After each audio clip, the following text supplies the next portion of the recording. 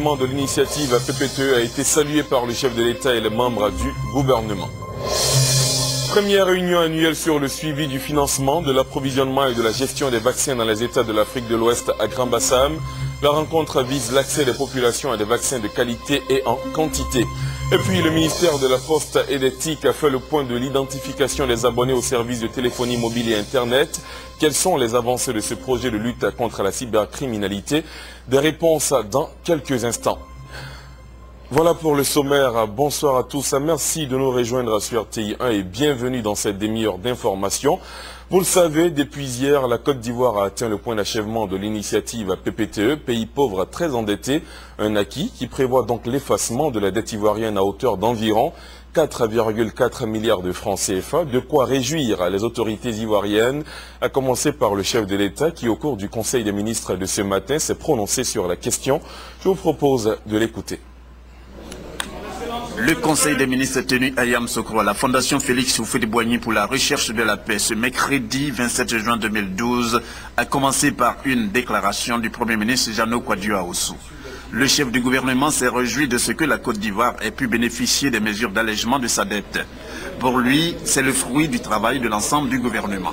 Le Premier ministre a saisi l'occasion pour rendre un hommage au président Alassane Ouattara. Je demande donc à l'ensemble des membres du gouvernement ici présents de vous réserver un standing ovation.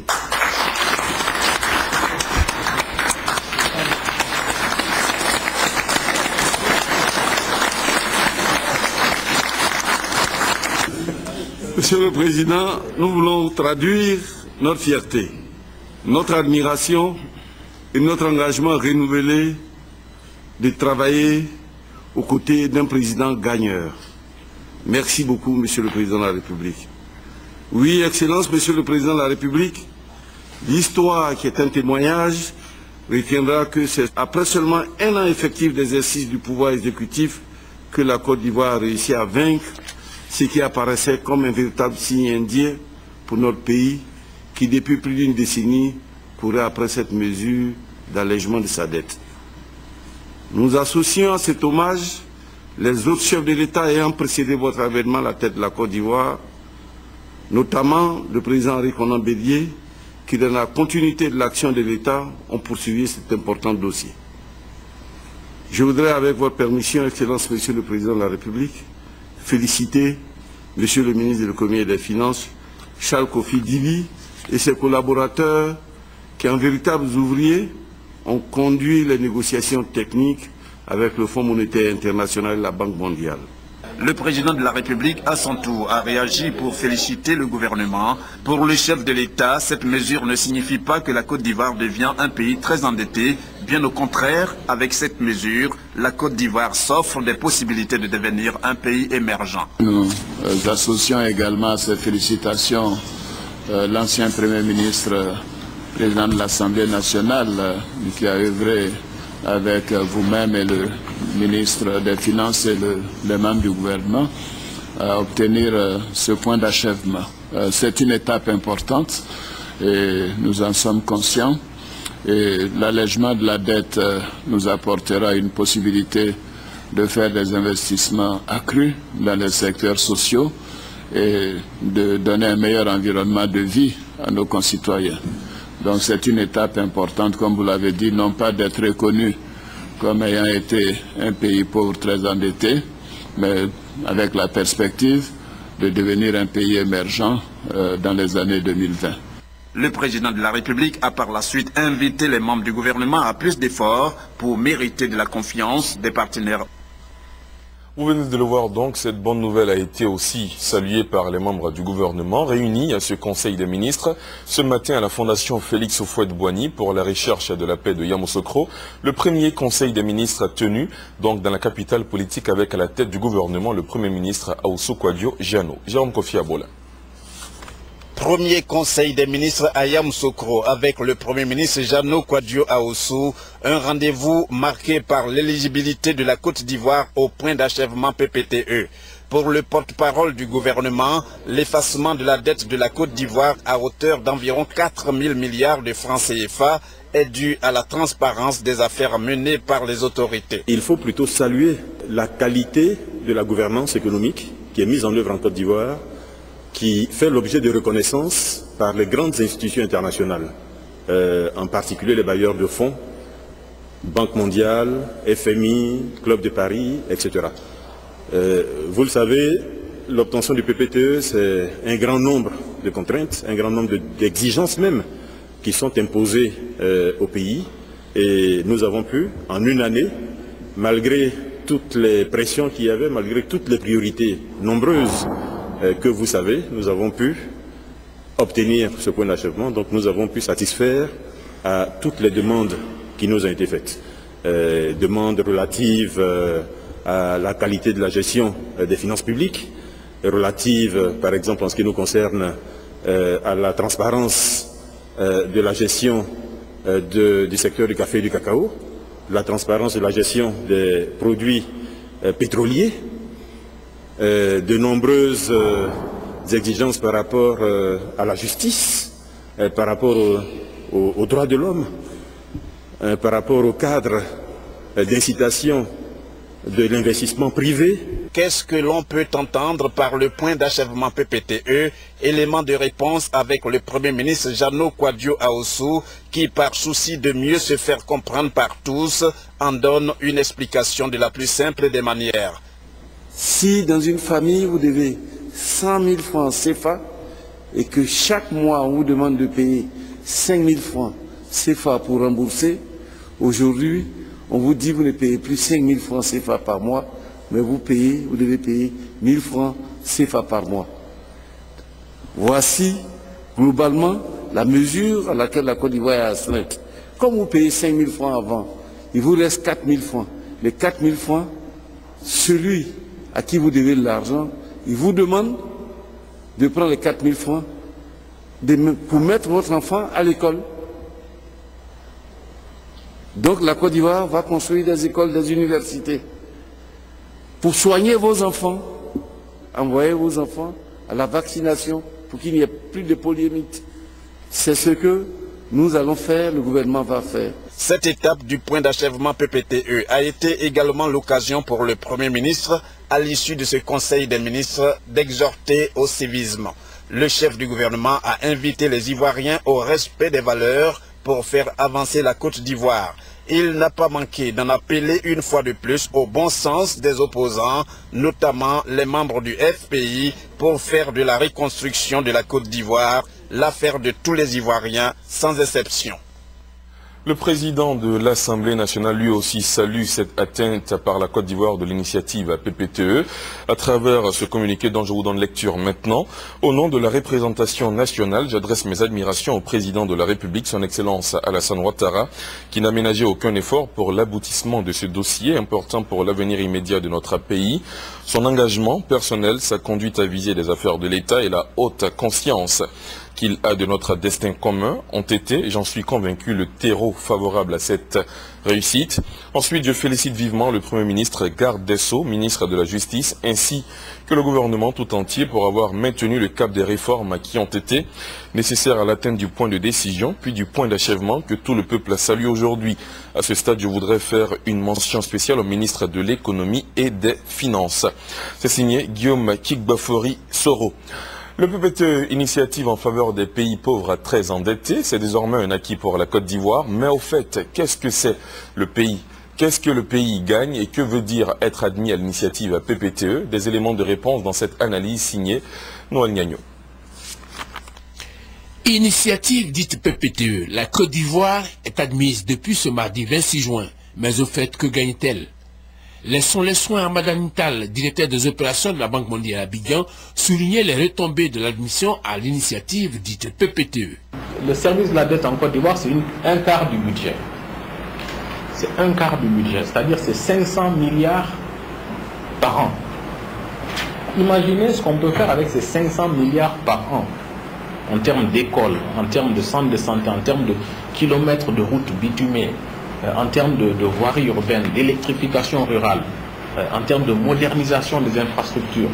Imaginez ce qu'on peut faire avec ça. Donc c'est ça le PPTE. En clair, il ne s'agit pas de recevoir de l'argent de bailleurs de fonds. Le service de la dette ivoirienne, environ 500 milliards de francs CFA, comme indiqué, serviront à des investissements dans les infrastructures socio-économiques de base pour respecter l'esprit de l'initiative. En 1994, la Côte d'Ivoire était dans une situation d'endettement extrêmement importante et le service de la dette annuelle de la Côte d'Ivoire ne lui permettait pas d'investir véritablement dans les secteurs sociaux et dans des secteurs qui permettaient d'accompagner son développement. Donc on a réfléchi en sachant que c'était une situation insoutenable pour le pays et que tôt ou tard, la Côte d'Ivoire se verrait dans une situation d'impossibilité d'assurer le service de sa dette. Donc l'initiative PPTE a été conçue pour la Côte d'Ivoire, encore une fois comme modèle. Vous avez compris. Il s'agit d'aider la Côte d'Ivoire à combler son retard accusé en termes d'infrastructures routières, d'écoles, d'hôpitaux, aujourd'hui dans un état de dégradation avancée et de sous-équipement prononcé des hôpitaux. Ce n'est donc pas un soulagement d'être admis, c'est plutôt le début de l'amplification de la bonne gouvernance. Et bonjour au développement et à la réalisation de la vision Côte d'Ivoire, pays émergent à l'horizon 2020. Outre l'effacement de la dette du pays, la Banque mondiale vient de mettre également à la disposition de la Côte d'Ivoire 50 milliards de francs CFA. Cette somme devra servir pour la réhabilitation des voies urbaines du pays. Laurent Banga nous fait l'état des lieux de ces voies à réhabiliter. La voirie urbaine ivoirienne s'est considérablement dégradée durant ces dix dernières années. Au total, 4000 km de voiries urbaines doivent être réhabilitées. Cela nécessite beaucoup de moyens financiers. En attendant, des efforts ont été faits, essentiellement à Abidjan, où l'on a pu mobiliser que 10 milliards de francs CFA sur les 40 milliards recherchés. À l'intérieur du pays, des travaux sont en cours, notamment à Korogo, à Oudiene, Gagnon, à Ferke et Yamsokro. Pour l'instant, ce sont 15 milliards de francs CFA qui ont été mobilisés par l'État de Côte d'Ivoire et les bailleurs de fonds pour financer cette opération. Une goutte d'eau dans la mer.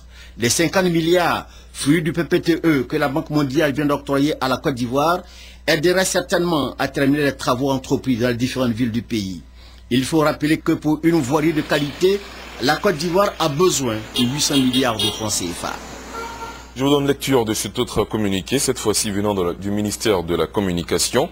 La 41e session ordinaire de la conférence des chefs d'État et de gouvernement de la communauté économique des États de l'Afrique de l'Ouest à CEDEAO se tiendra les 28 et 29 juin 2012 à Yamoussoukro, à la Fondation Félix Oufouette-Boigny pour la recherche de la paix. Dans l'actualité ce soir, cette rencontre entre l'ambassadeur des États-Unis en Côte d'Ivoire et la présidente de la Commission nationale d'enquête le diplomate américain est allé témoigner à la présidente du CNE le soutien des États-Unis dans sa mission d'enquêter sur les atteintes aux droits de l'homme et humanitaires après l'élection présidentielle de 2010. Le compte-rendu d'Honorine Nigori.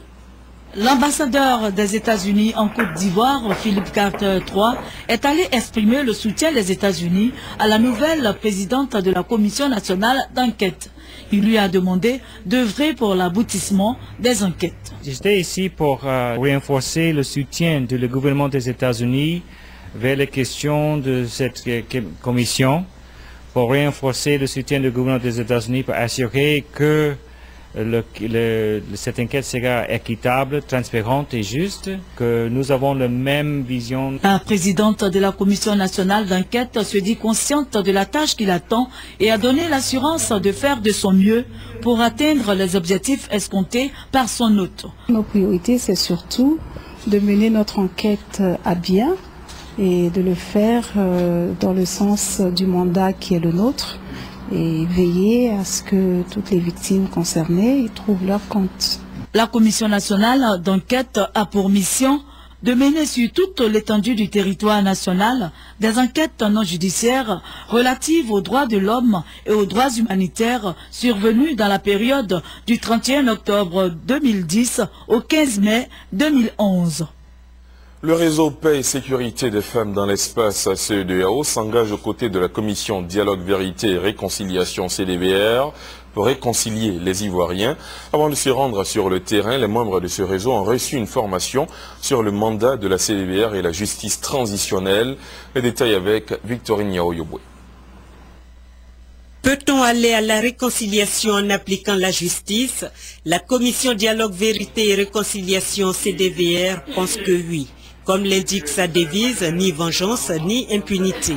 Cette approche appelée justice transitionnelle s'appuie sur un ensemble de mécanismes tirés de la justice moderne et de la justice traditionnelle.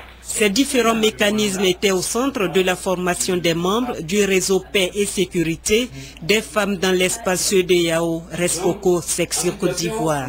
Objectif, les outiller pour soutenir la CDVR dans sa mission de réconcilier les Ivoiriens. Il faut que nos membres que nous allons mettre sur le terrain dans le cadre de ce processus-là sachent comment parler aux populations puisse convaincre les populations à la base et expliquer aux populations c'est quoi la justice transitionnelle, c'est quoi la CDVR. Pour obtenir des résultats sur le terrain, Salimata Porté, présidente de Resfoco régional, demande aux autres ONG de s'imprégner du mandat et de la mission de la CDVR. Quant au conférencier de la division des droits de l'homme de l'ONUCI, il indique que la CDVR est confrontée à des défis qu'elle doit relever si elle veut arriver à réconcilier les populations ivoiriennes. Le premier de ces défis, entre autres, est celui de la coordination. Parce que s'il y a plusieurs mécanismes qui font un travail dans le même sens et a un besoin que ces différents mécanismes puissent se parler. La compréhension même de, des exigences du processus de réconciliation et de la notion même de réconciliation n'est pas toujours bien partagée par l'ensemble des acteurs. Donc il y a un besoin euh, d'éduquer, de renforcer les capacités des différents acteurs. Comme le réseau Paix et Sécurité des femmes dans l'espace EDAO, d'autres acteurs de la société civile ivoirienne vont être bientôt formés sur la justice transitionnelle et les missions de la CDVR. On parle maintenant santé. La première réunion annuelle sur le suivi du financement, de l'approvisionnement et de la gestion des vaccins dans les États de l'Afrique de l'Ouest a ouvert ses portes cette semaine à Grand Bassam. À l'initiative de l'OMS, cette rencontre qui se tient à l'attention des responsables financiers des 17 pays concernés entend dévoiler les forces et les faiblesses des acquis sur le terrain afin d'améliorer l'accès des populations à des vaccins en qualité et en quantité. Alexis Ouedraogo. La réémergence de maladies auparavant maîtrisées, telles que la coqueluche, la poliomélite ou encore la rougeole, menace aujourd'hui les États de l'Afrique de l'Ouest. La couverture vaccinale liée au programme élargi de vaccination PEV sur cette partie du continent connaît de nombreuses difficultés. Dans plusieurs pays, il y a beaucoup de ruptures en vaccin. Euh, le vaccin qui est commandé probablement n'arrive pas souvent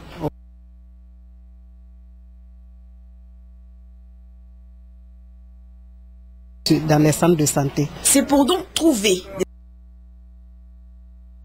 des situations qui fragilisent la santé des populations qu'à l'initiative depuis cette semaine à Grand Bassam une réunion sur du financement, de l'approvisionnement et de la des vaccins. Cette initiative a pour objectif euh, chaque année de vacciner au moins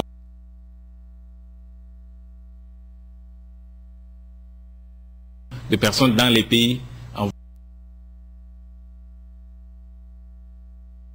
surtout dans ce pays-là que euh, le problème compte de cela, notre sous-région euh, a décidé de s'asseoir et de voir le problème euh, du financement, de, la commande et de la gestion pour s'assurer que nous avons les éléments pour pouvoir donc assurer cette couverture-là. 17 pays participent à ce séminaire qui devrait à son terme aboutir à des solutions concrètes de pérennisation des services de vaccination dans la sous-région. Les pays devront garantir la disponibilité des vaccins non seulement par la mobilisation des ressources financières, mais également par le suivi du financement et la bonne gestion des stocks. Ce séminaire sur le suivi du financement, de l'approvisionnement et euh, de la gestion des vaccins dans les États de l'Afrique de l'Ouest se tient donc depuis lundi à Grand Bassam. Quelle est l'importance de la vaccination dans nos sociétés? Est-ce un moyen efficace pour lutter contre les maladies? Explication avec Alexis Ouedraogo. Les vaccins sont importants. Ils permettent de lutter contre un grand nombre de maladies infectieuses, de se protéger mais surtout de réduire dans la pratique aide l'organisme d'anticorps contre les bactéries. Il est donc important que chacun vérifie son carnet de vaccination et se mette à jour des rappels recommandés. La vaccination contre la diphtérie, le tétanos et la poliomyélite nécessite des rappels tous les 5 ans jusqu'à l'âge de 18 ans et ensuite tous les 10 ans chez les adultes. La vaccination contre l'hépatite B nécessite deux injections à un mois d'intervalle et une troisième injection 5 à 12 mois plus tard. Les enfants doivent, eux, être vaccinés contre la rougeole, les oreillons et la rubéole avec deux injections du vaccin combiné. Pour les voyages vers les pays à risque, il est conseillé de se protéger de la typhoïde, une injection 2 à 3 semaines avant le départ pour 3 ans, et de l'hépatite A, une injection 2 semaines avant le départ et un rappel 6 à 12 mois après pour être protégé sur 10 ans. Le vaccin contre la fièvre jaune est obligatoire à l'entrée de certains pays et ne peut être fait que dans des centres agréés ou dans un service de maladies infectieuses et tropicales. Si toutefois vous constatez un retard dans la réalisation de vos vaccins, sachez qu'il n'est pas nécessaire de recommencer tout le programme. Il vous suffira juste de reprendre là où les choses et de compléter la vaccination tout en vous appuyant bien sûr sur les avis de votre médecin. Autre sujet dans le cadre de la lutte contre la grande criminalité, la police économique et financière vient de démanteler un réseau d'escrocs. Ce groupe est composé d'individus indélicats qui appellent de numéros de téléphone masqués pour arnaquer. La, police économique et financière vient de mettre le crapin sur le cerveau du réseau. Le témoignage d'Abou Sanogo. La police économique et financière vient de mettre fin aux activités d'un réseau d'escroquerie appelé le grain de bamboula. Comment procède-t-il? Des individus vous appellent d'un numéro masqué ou d'un numéro de téléphone de l'étranger. Ils vous font croire qu'ils sont à la recherche d'un produit, précisément des grains rares, qui rentreraient dans la fabrication d'un médicament pour les animaux. Grains, selon eux, vendus à 16 000 francs l'unité et que l'acheteur pouvait revendre au double prix à un homme d'Europe. Ainsi, ces individus donnent-ils rendez-vous à leurs victimes dans un grand hôtel de la place pour la vente des grains à l'acheteur potentiel après les avoir achetés avec une tierce personne moyennant la somme de 8 millions de francs CFA. Après avoir soutiré cette somme à une victime, le cerveau du réseau a été interpellé par les hommes du commissaire Namori Timiti. Par ce temps de conjoncture, l'argent devient rare. Il est bon que nous gérons avec parcimonie et avec beaucoup de prudence le peu que nous avons économisé. Alors c'est en ce sens que je leur demande de ne pas se laisser avoir euh, dans ce genre d'escroquerie qui fait appel euh, à, des, à des gens de nationalité, enfin à des, Européens. Il hein. ne faut pas croire que dès l'instant où il y a un Européen là-dessus, il n'est pas possible que ce soit une escroquerie. Eh bien, la preuve est faite que tout, il y a des escrocs dans toutes les races. Victor Martinez est espagnol et membre de ce vivre en France. Mais en réalité, il réside en Côte d'Ivoire depuis toujours et est sans emploi. Comment dire, j'étais dans une situation un peu précaire, difficile. Je, n'avais plus d'emploi. Donc euh, j'ai rencontré des personnes qui m'ont convaincu de m'aider à gagner facilement de l'argent. Donc euh, comme j'étais dans une situation euh, difficile, je me suis donc ils m'ont proposé de travailler avec eux dans une affaire, tout simplement, de jouer le rôle d'un acheteur dans une affaire d'escroquerie. Mise à la disposition du parquet, Victor Martinez répondra de ses actes. Abidjan abrite depuis ce matin le salon du bâtiment et des matériaux de construction. Ce salon, qui prendra fin vendredi, permettra aux professionnels de rencontrer leurs homologues ivoiriens et d'étudier la possibilité de développer en commun des projets. À ce salon peuvent être appréciés tout ce que l'Afrique du Nord, notamment la Tunisie et le Maroc, proposent dans le domaine de la construction. Egger Trois jours pour apprécier ce qui se fait de mieux dans le domaine du bâtiment et des matériaux, en Tunisie, au Maroc, mais aussi en Côte d'Ivoire. C'est ce que propose Bativoire. Salon du bâtiment et des matériaux de construction prévoit une quarantaine d'exposants essentiellement des professionnels du bâtiment dans ses différentes composantes. Du marbre, euh, des profilés en aluminium, des profilés en PVC, des sanitaires, euh, des cabinets d'architecture, des, des bureaux d'études, de nombreux intervenants sur ce salon. Réunir autour du bâtiment différentes potentialités, c'est une opportunité qu'offre la première édition du Salon du bâtiment et des matériaux de construction. Aux professionnels du bâtiment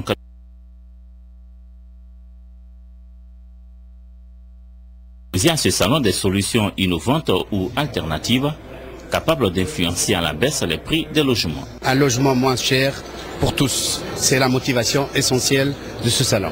Pour construire de façon massive ces logements-là, on a besoin de nouvelles techniques de construction et des matériaux performants euh, à mon coût, mais euh, qui respectent les normes euh, de construction pour des logements décents. Ça peut être intéressant pour l'État. Le secteur du logement en Côte d'Ivoire est marqué par un déficit accumulé de plus de 400 000 logements. Bativoire, qui a ouvert ses portes ce mercredi à l'immeuble de l'ex-Kestab, veut aider à résorber ce déficit. Il se referme vendredi. L'État de Côte d'Ivoire a décidé de lutter contre la cybercriminalité et ce, à travers le décret portant identification des abonnés aux services de téléphonie mobile et Internet. La mise en application de cette identification est effective chez plusieurs opérateurs et institutions. Voyons avec la en Ouattara l'exemple du ministère des Postes et des Technologies de l'Information et de la Communication de l'opération. L'opération d'identification de télécommunications a pour but d'assurer la protection des utilisateurs et des infrastructures technologiques. Cette action s'inscrit par ailleurs dans la lutte contre les actes malveillants et délictueux par le biais des TIC qui ont pris de l'ampleur ces dernières années en Côte d'Ivoire. Quelques mois après l'entrée en vigueur du décret signé en décembre dernier à ce propos, un comité de suivi a été mis sur pied. À mi-parcours, le bilan s'avère satisfaisant. À ce jour, nous sommes à, à 43% d'abonnés identifiés. L'objectif, c'est que dans les trois mois qui suivent, euh, nous puissions arriver à un taux de 100%. Dans le but de rapprocher les abonnés de leurs fournisseurs de services, des points d'identification ont été installés dans le hall de l'immeuble postal 2001 à Abidjan Plateau. Plusieurs personnalités responsables du ministère de la Poste et des TIC ont donné l'exemple.